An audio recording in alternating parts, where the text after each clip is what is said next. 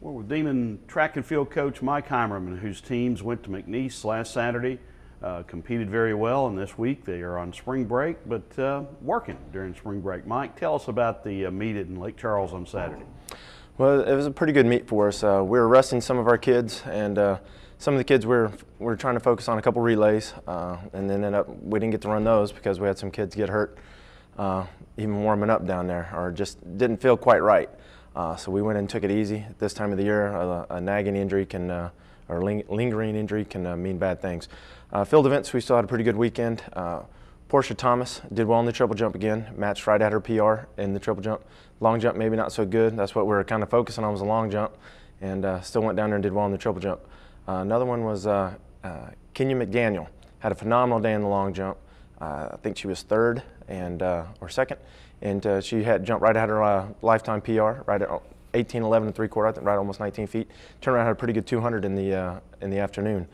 Um, also on the throws, uh, we had a really good day. Keona Jackson had a match right at her PR uh, three times in the uh, hammer, and then crushed her PR on the shot put.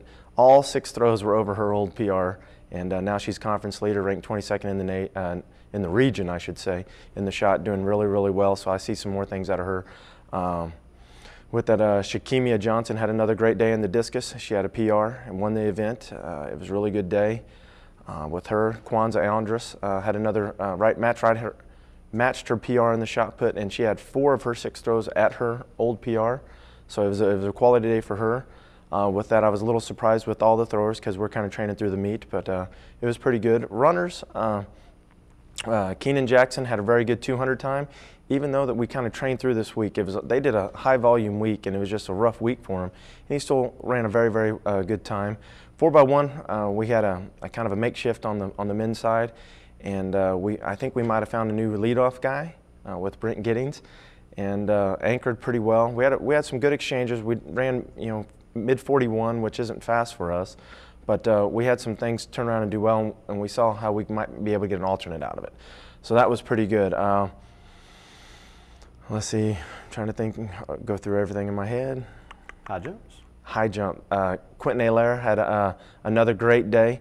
He's getting used to the new approach. This was week two with the approach. He's getting very, very consistent um, with it, and he's so close. I was over there. I actually got to go over and watch his last uh, last uh, clearance or last bar attempt at, at six nine, six eight and a half, six nine, and uh, his first two were excellent attempts at it, and uh, third one it wasn't so good. But uh, he's right there at it, to you know, jumping right at his PR every week. So, you know, when you do that, you know, the big the big jump or the big throw is coming up later in the season. And uh, you know, with us, it's it's three weeks out from conference, three to four weeks out from conference, and that's where we hope to see everything. All right, it is spring break this week, but uh, your team is not exactly scattered uh, to the winds you're going to do some uh, competing this weekend. Yeah, this is the first year uh, in a while that we've actually kept the kids here over spring break. They got off yesterday. They have off until 3 o'clock today on Monday. We'll report back and they start practice, and uh, we'll have actually two meets this week. Uh, we'll compete some of them at uh, on Thursday at Southeastern, Thursday and Friday. I guess women's hammers on Thursday, and most of the meets on Friday. And then we'll compete the rest of the team on uh, Saturday at LSU. What we're trying to do with this meet is we're setting up a little bit like conference conference is a two-day meet, three-day meet for some of the throwers and distance runners. But uh, usually we run prelims on one day, finals on the next day. So we're going to try to set that up with some of our events this week, just see how we can handle it. Because one of the other things at McNeese this past weekend, it felt hot, but it was about probably almost normal temperature for this time of year. We just have had an unseasonably uh, cool uh, spring so far, that uh, we're just not quite used to the heat. So we got to get used to that heat again because some of the kids were, that was some of the reasons we didn't get to run what we wanted to run because the kids were getting dehydrated, getting hot, and just they were wiped out. So hopefully we can uh, manage that a little bit smarter this week and get used to the heat because uh, we haven't had it in a while. But uh, that's another reason we're, we're going to schedule uh, both meets and uh, keep them busy.